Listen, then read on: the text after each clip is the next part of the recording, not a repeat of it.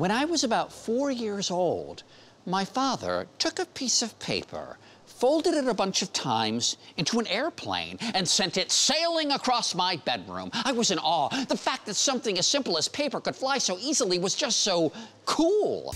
Now there's one innovator who has one-upped my father in the paper airplane department because his piece of paper can be flown as a drone. Here's Albert Lawrence to explain. Paper airplanes are the perfect way to challenge your mind, have a little fun, or distract you from boredom. But the reality is, they just don't fly that far.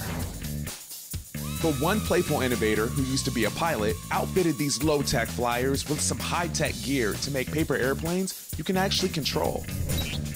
I flew on a regular plane to New York City to meet up with Israeli Shai Goitein, who teaches kids about aerodynamics in a fun way with his Power Up toys. Can you please talk to us about Power Up? Okay, so Power Up is all about taking the pastime classic paper airplane and bringing it to the future by connecting technology to that very simple paper airplane. It really all started working with immigrant kids, teaching them aerodynamics, and doing the research of and planning the course, I found all these different new technologies that there are. Carbon fiber, micromotors, microcontrollers, and it just came to me, you know, this eureka moment, uh, what happens if we take that paper airplane that you fold in a few seconds, put the technology connected to it, and that question actually evolved into the first model, which is what we call the Power Up uh, 1 and 2, which is this, this is a very simple paper airplane. And the propulsion unit, what we did is we connected this supercharging unit.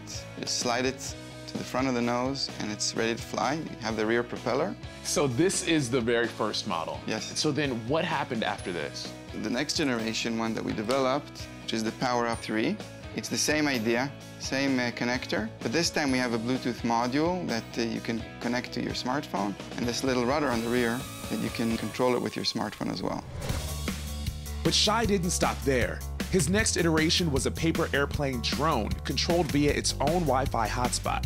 And it also comes with a live streaming HD camera. This camera gives you a front view so you can see what your airplane sees, but it also can rotate to the rear. So you can actually see the rear point of view. So when you take off, it'll photograph you and you can see yourself actually launching. It's a kind of a selfie mode. Before we went flying, Shai taught me how to fold the perfect paper airplane using the templates that come inside every kit. The folds should be as symmetrical as possible to increase lift and flyability. That's it. You're all set. This looks like a proper paper airplane ready to take flight. We headed over to Central Park with Shai's son Ito to fly our planes, which are controlled by an app on your smartphone. You hear that sound? Oh, it's So revving up. Revving up. Okay, so we're gonna launch it this direction. The paper plane flew perfectly, and so did the larger drone version. Shai gave me a few quick lessons, then let me pilot the Power Up 3 plane. Ah, we got it. Good. you did it. Wow, I mastered it so much that I hit myself. Let's just say, it's a good thing these planes are made out of paper.